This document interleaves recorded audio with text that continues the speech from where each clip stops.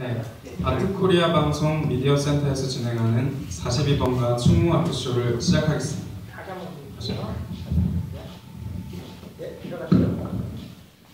아트코리아 방송 미디어 센터에서 진행하는 42번가 충무 아트쇼를 시작하겠습니다.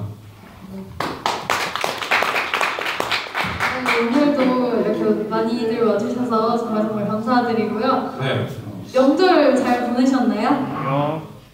지난주가 명절이라서 또 어, 다들 푹 아, 좋은 가족들과 함께 좋은 시간 많이 보내셨을 것 같은데 살쪘어요. 아 누가요?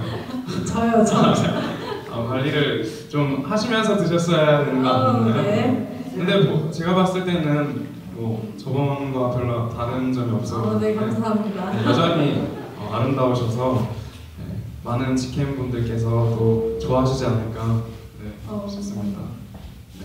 네. 어쨌든 이렇게 또 설을 지나고 또 새로 시작하는 주에서 또 여러분들과 함께 하기 위해 아트코리아 방송에서 진행하는 충무아트 쇼가 시작되었습니다. 오늘은 또 어떤 분들이 와주셨는지 아 소개하기 전에 네 예스 평창 뒤에 보이시는 이 현수막을 보시면 어, 3월 8일 3월 이렇게 8일 들었어요. 네, 3월 8일에 개봉을, 개봉을 한다고 한다고. 합니다. 네. 여러분들이 이제 직캠을 찍어주시면서 어, 태그로 예스 영상을 올리실 때 네. 어, 제목에다가 예스 평창을 꼭 달아주셨으면 좋겠어요. 네. 네, 그러면 또 많은 분들이 또 여기 예스 평창을 보시고 어, 보실 수 있는 기회가 되지 않을까 싶, 싶습니다. 그래서 여러분들이 많이 도와주시면 또 더욱더 홍보가 많이 될 것 같습니다.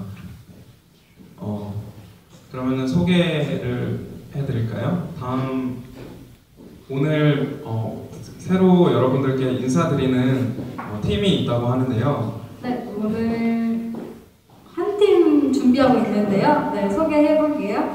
스윗한 홈성, 홈성 두오 팍스 차일드 소개합니다. 네, 나와주세요.